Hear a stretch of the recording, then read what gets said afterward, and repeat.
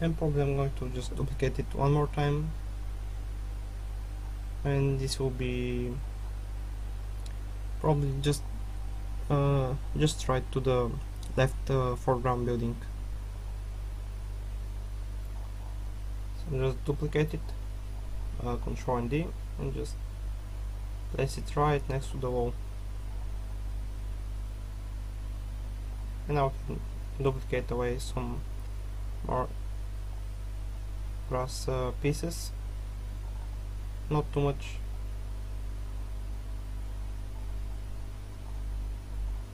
And that seems fine. So the last part now is going to be rendering and compositing so let's start uh, preparing the scene. As you know uh, we've created a physical sun sky for indirect illumination just for testing purposes on the textures so we won't uh, need we don't need to create anything um, more than this.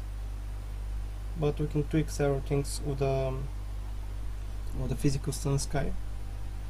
Uh, one of those will be the ground color. Um, it creates a little bit more warm feeling for the whole of the scene.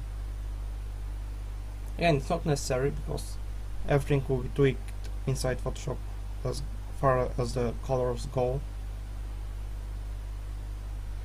and one more thing that we're going to do is to select the sun shape. So this is the main light that is illuminating the scene. And in the top view make sure that you are turning by world orientation mode.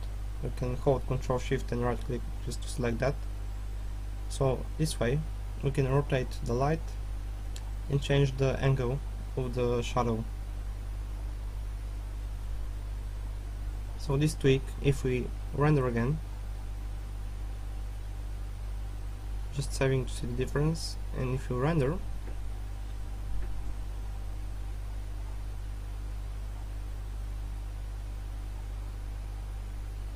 I'm just going to bring down the quality so it renders faster.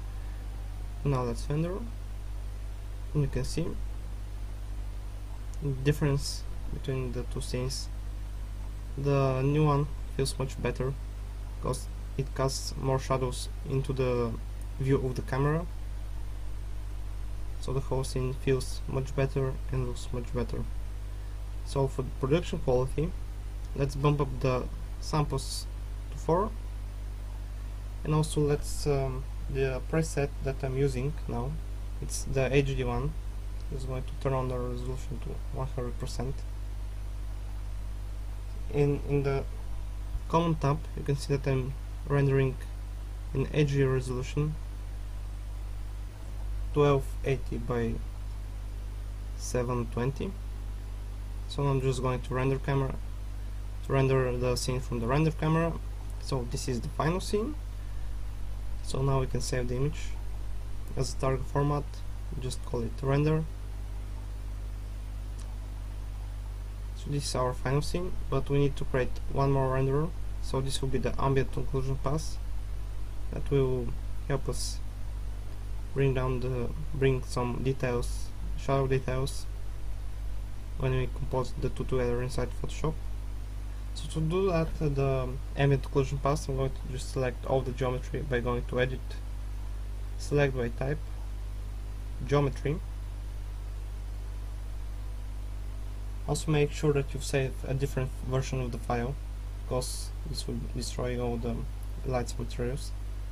I'm going to assign a new material to all the geometry, so this will be a surface surface uh, shader. In the out color, I'm going to choose a MIM uh, texture which is called MIP amp occlusion so this will give our uh, ambient occlusion so I'm just creating the samples bumping them to 128 and also the max distance to 1 the max distance depends on the size of your scene. So 1 means 1 Maya unit will be the distance of the uh, ambient occlusion but that also depends on the fall off which is one at the moment also don't need the physical sun sky so I'm going to delete that. So that's why you need to save the scene before that. And now I'm going to render the ambient occlusion pass. So this is the pass. It renders much faster than the uh, diffuse one. So just I'm going to save it again as a Targa. Just a different name. And now the final step is going to Photoshop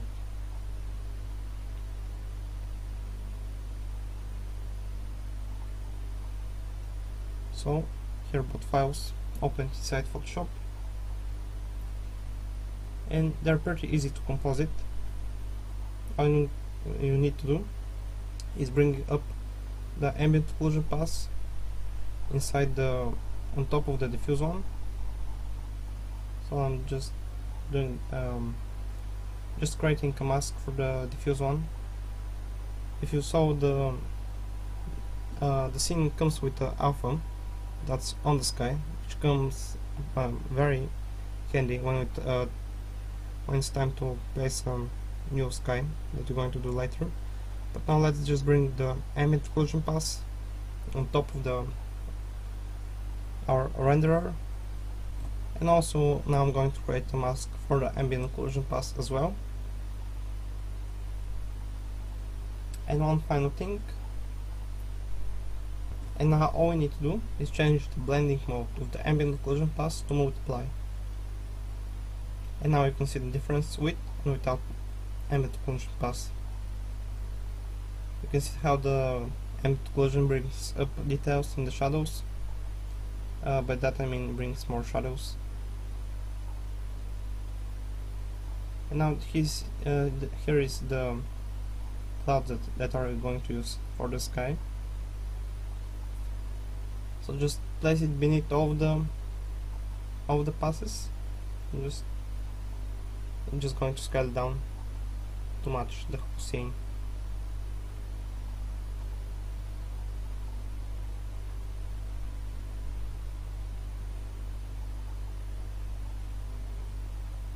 It seems fine.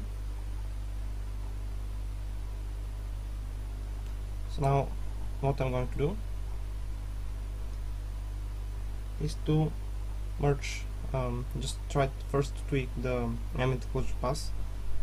Most of the time it won't be necessary to be on 100% opacity so just I'm going to see how it looks. With 85% and with 100% I'm just going to select between one of the two. But most of the time it's better to tune down the ambient occlusion so finally I'm merging those two together.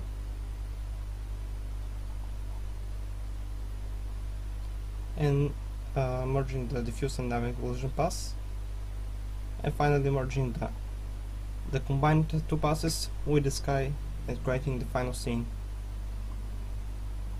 So it's not over we need to um, create the color correction of the scene.